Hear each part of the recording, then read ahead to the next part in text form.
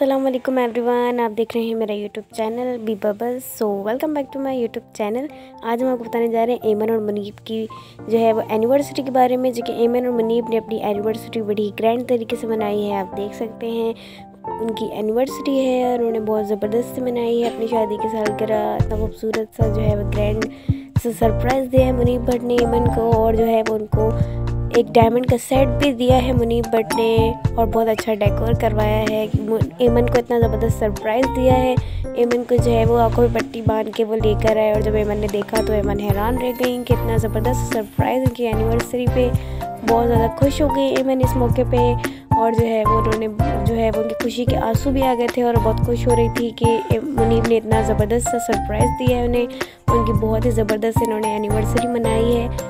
देख सकते हैं कितना अच्छा सा डेकोर किया हुआ है केक कट किया है और डायमंड का सेट दिया है मुनीब ने ईमन को और केक कट किया है और बहुत सारे इनकी फैमिली मेंबर्स और फ्रेंड्स वगैरह आए हुए हैं। इन्होंने सबको इनवाइट किया है और सबने ईमन के लिए और मुनीब के लिए अच्छी अच्छी विशेज़ और गिफ्ट्स लाए हैं। आप देख सकते हैं इस मौके पे कितना खुश हैं, एक दूसरे को केक खिला रहे हैं और मतलब बहुत ज़्यादा खुशी का दिन है इनके लिए। आज बहुत खुश नज़र आ रहे हैं, आप देख सकते हैं। एमन और मुनीब की जो है वो एनिवर्सरी है सो इन्होंने जो है वो बहुत शानदार तरीके से मनाई है, बहुत ही ज़बरदस्त मनाई है इन्होंने, बहुत खुश है इस मौके पे। आज उनकी शादी को तीन साल हो रहे हैं, इनकी थर्ड एनिवर्सरी है, माशाल्लाह से बहुत खुश है आपस में ये दोनों।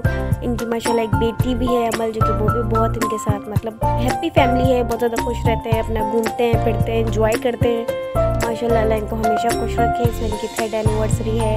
और आप देख सकते हैं इन्होंने कितनी ग्रैंड तरीके से जो है वो मनाई है। ये इनकी जो है वो शादी की पिक्चर है, जिनको तीन साल हो चुके हैं इनकी शादी को। सो हमारी वीडियो अच्छी लगी है तो हमारे चैनल को लाइक करें सब्सक्राइब करें शेयर करें। शुक्रिया, अल्लाह हाफिज़।